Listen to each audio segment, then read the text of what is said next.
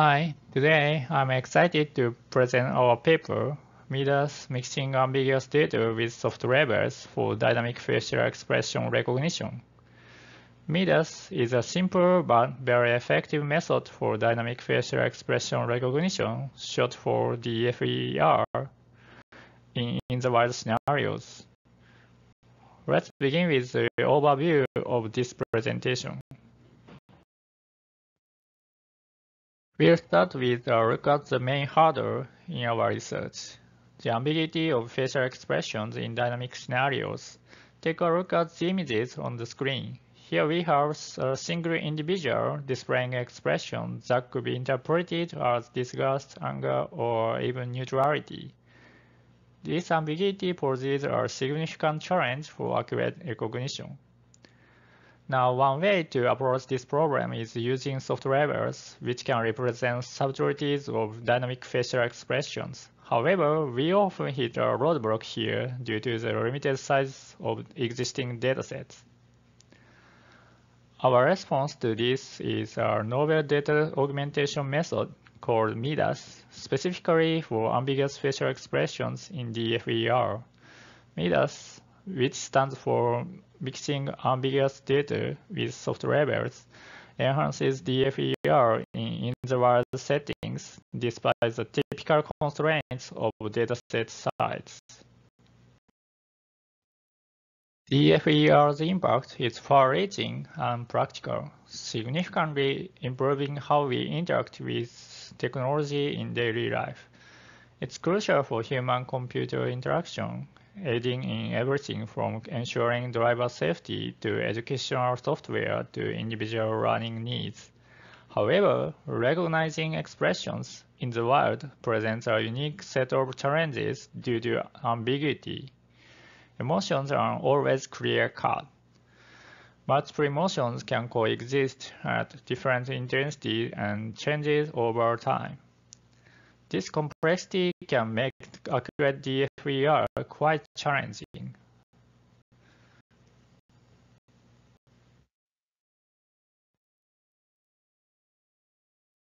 Our approach is the utilization of soft labels. Generally, soft label consists of probabilities for multiple emotions.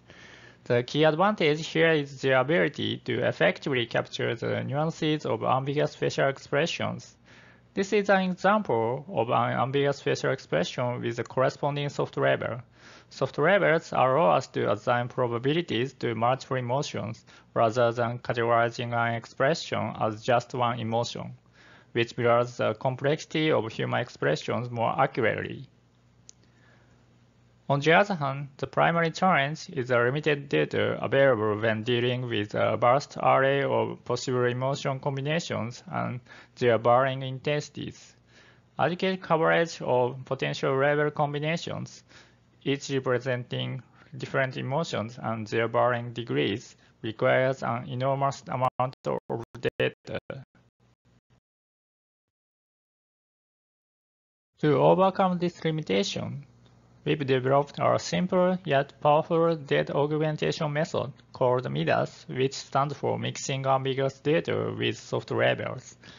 MIDAS enhances our approach by incorporating a mixing strategy tailored for soft labels and dynamic facial expressions. It works by convexly combining pairs of video frames along with their associated soft labels. Our method is similar to Mixup, yet it differs to in two key aspects. Firstly, it's tailored for video data, not just static images.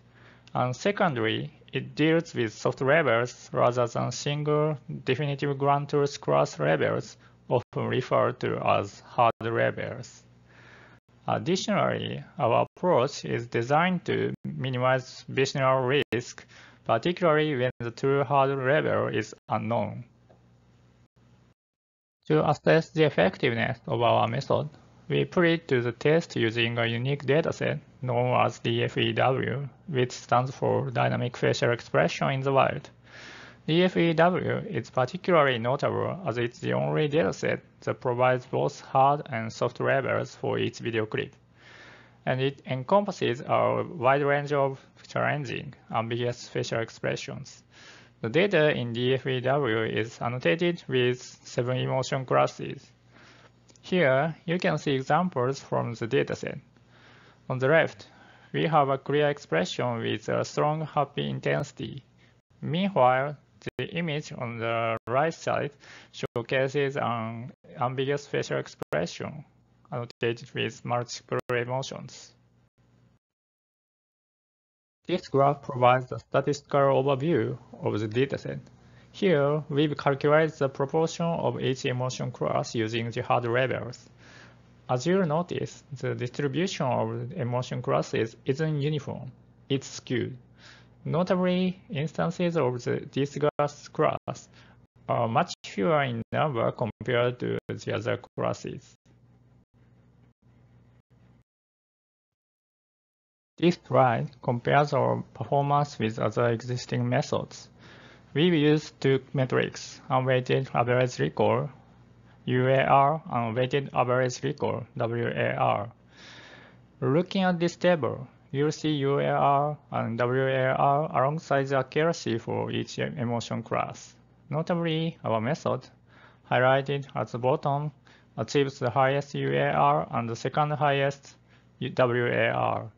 Additionally, it's important to highlight the accuracy per class, particularly for emotions like disgust and fear, which have smaller data sizes in the dataset.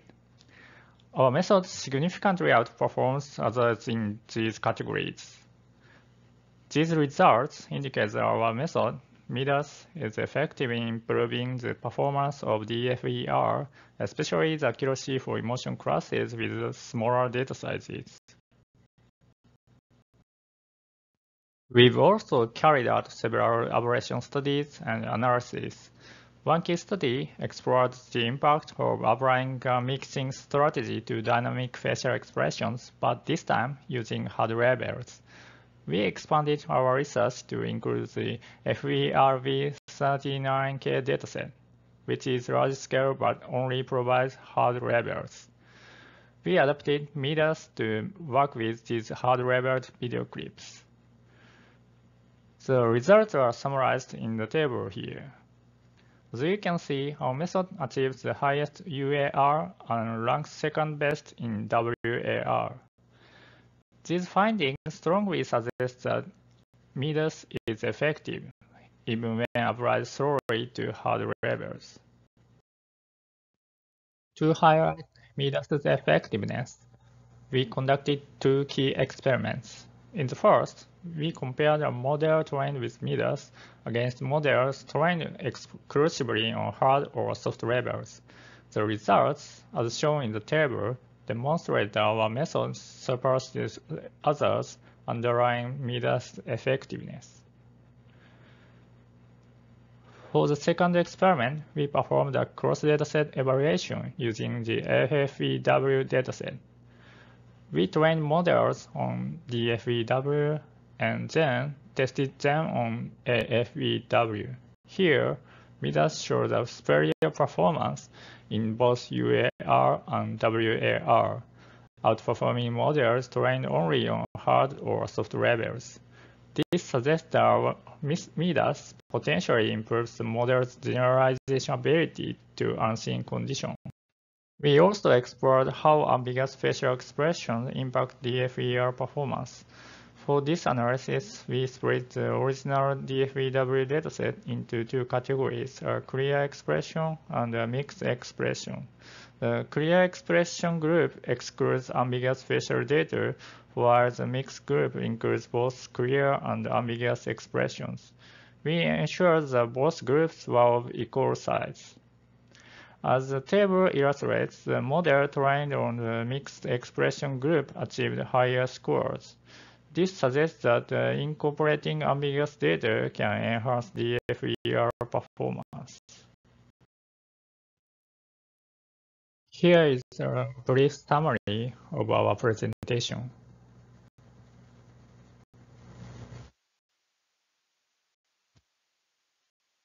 Thank you so much.